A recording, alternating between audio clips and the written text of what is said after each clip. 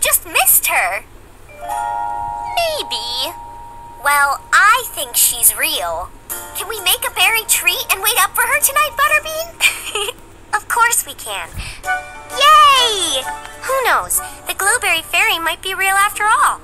Mm-hmm. They think it's just a story, but I know the Glowberry Fairy is real. And she's going to come tonight.